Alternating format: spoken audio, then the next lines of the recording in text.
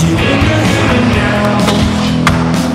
Instead of dreaming up a way to spread your name across the world somehow. When you told me you were leaving, I wasn't thirsty for revenge.